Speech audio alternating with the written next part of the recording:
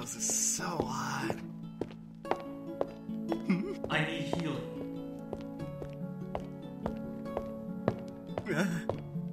Guys are hot too. Oh man.